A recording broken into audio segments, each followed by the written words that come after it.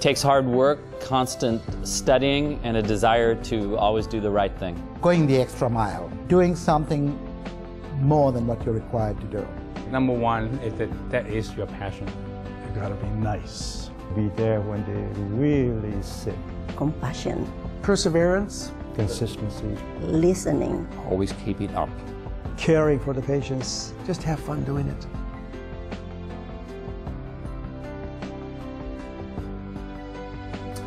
I've wanted to be a physician since I was age of six.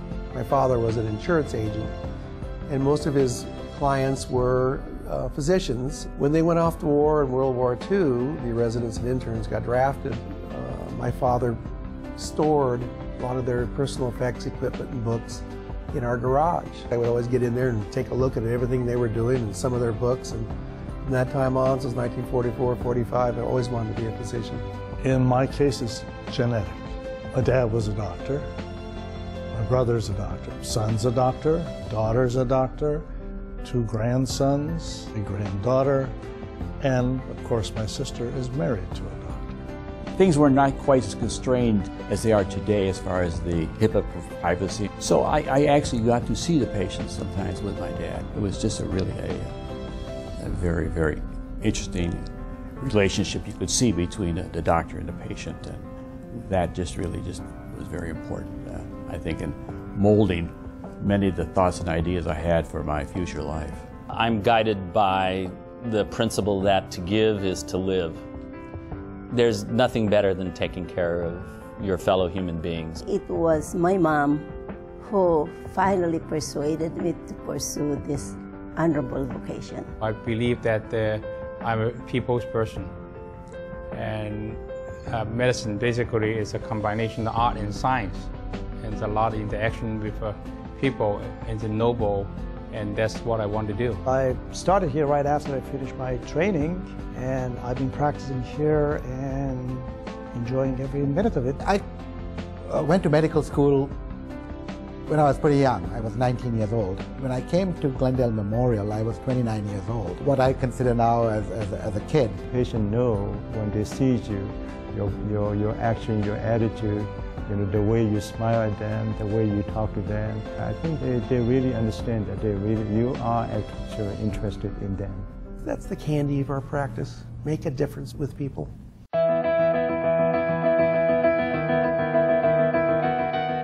I joined the staff in 67. In 1969, went to the administrator, Mr. McNally, and said, we need to start a heart program here. We need a cardiac catheterization lab.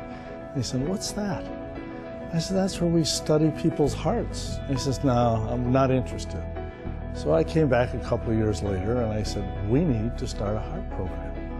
And he said, okay, you can have this room in surgery. And so that's how it started. When I first came here, I, I didn't have much to do except pour coffee for the other doctors in the lounge. So they put me on the planning committee. What a, what a mistake. We got $23 million together and built the Heart Center. And uh, it was like it was like Field of Dreams. You know, build it and they will come, and they did. It was really doctor oriented, and uh, it was it was a very great experience, a great place to practice medicine. I knew right away this was the hospital that I wanted it to be. And because the doctors were so kind and so uh, caring. Communicate with your, with your colleagues. Communication brings better patient care and also you make a lot of friends. I also feel very blessed and very fortunate in a facility that uh, literally any field uh, beyond some of those uh, tertiary centers, we do have representatives.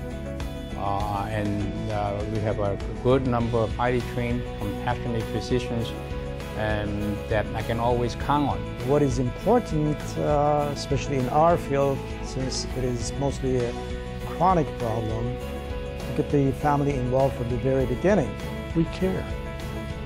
So you're not just a number, you're not just a, a chart, you're a human being and we care. That's what makes us different here at Glendale Memorial. I always, always joke about to my wife that if Glendale Memorial Hospital go down under the uh, ocean, I'll go with them. You know, this is how much faith I have. The nursing staff uh, is uh, the biggest strength we have.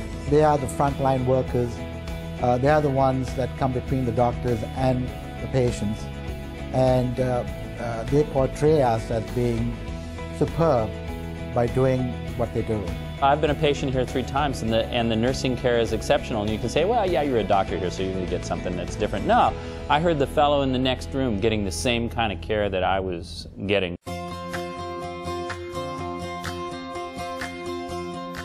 The funniest person in this hospital was Dr. Richard Allen. He had the knack to make people laugh.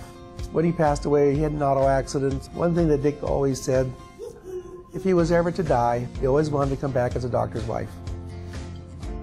Dick Allen, stand-up comedian, one of my best friends. Um, we literally try and hurry and make rounds to go up to the surgical lounge and watch Dick perform. I had done a uh, TUR prostate on this one particular physician. He was an OBGYN. One of his patients went into labor and got out of his bed carrying his bag of water, fluids and his catheter to deliver a patient. I mean, this is how crazy some of us were at the time of taking care of patients. Dr. Goodwin, I'll never forget him because uh, my husband was the second to the last patient that he did the surgery.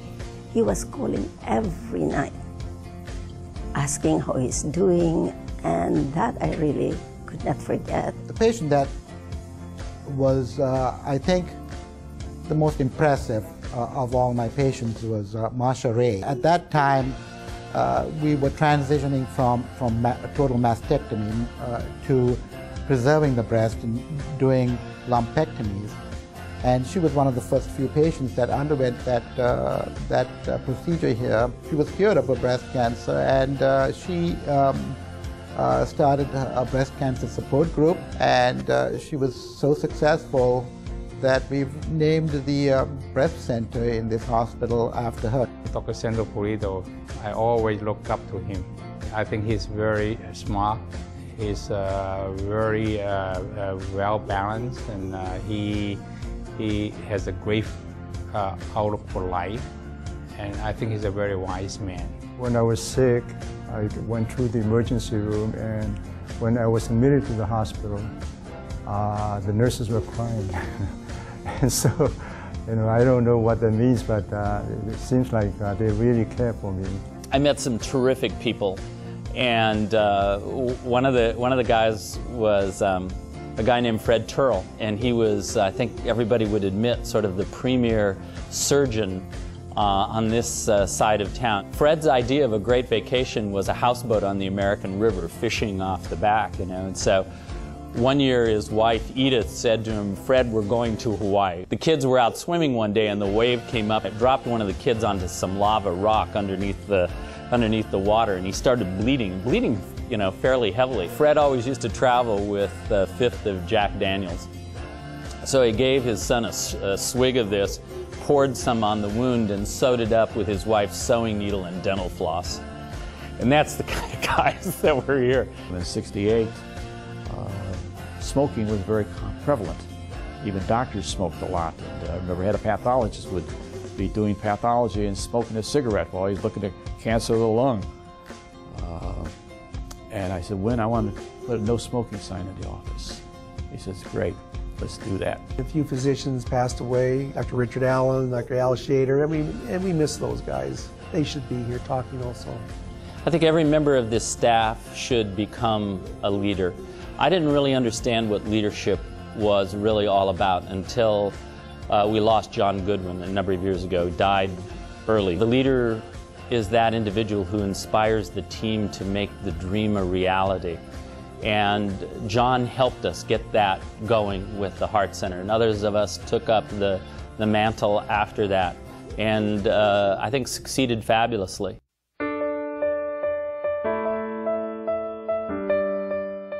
Think the human kindness basically how you associate your patient in a very genuine way. In my career, I consider my patients my friends. Even till today, they come to me as friends. Do uh, the little extra things that make a difference uh, in, in, in the humanity of, of the situation.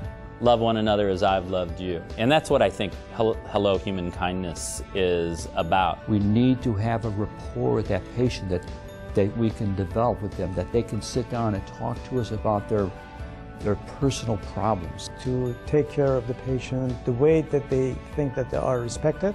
You have to love the patient. One of the things I always did is I touched you when I talked to you.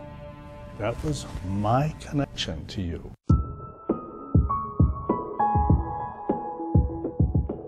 The responsibility we have with patients, we are taking care of the most important thing, their life.